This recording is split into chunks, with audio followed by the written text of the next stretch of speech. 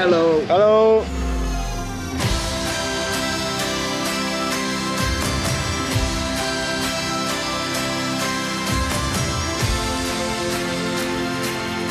It's a tracker to um, track us where we're going where, when we're underwater.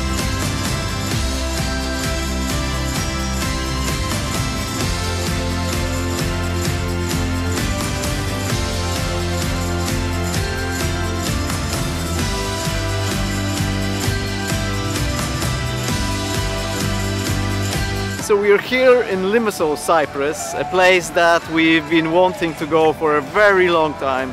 We were very happy when we got the bid to come here because it's November and it's just summer for the most of the kids that have come here.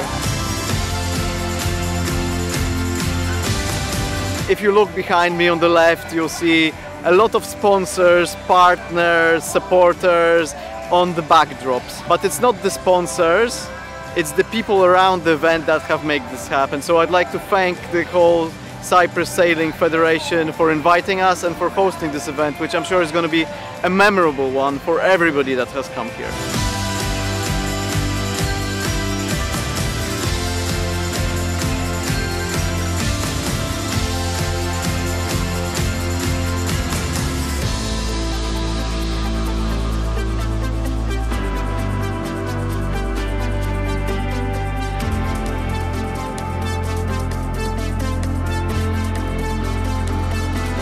I'm very happy and delighted to host the event here in Cyprus of uh, the World Championship 2022 Techno.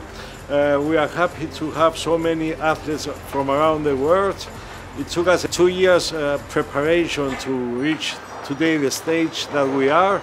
Everything runs very smoothly and for that we are very happy and I want to thank the International Class Association for their support. Without them I don't think we could be able to do it, and also for entrusting us the event and the organization of the event in Cyprus.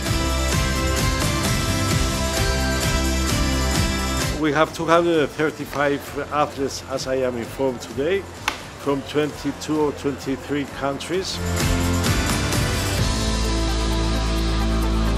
For that event, we had set up an organized uh, local committee from different uh, specializations of people that uh, each one took their own task and uh, coordination of activities to reach and to make a perfect uh, game and I think we have succeeded. I just want to wish everybody fair winds and uh, nice competition.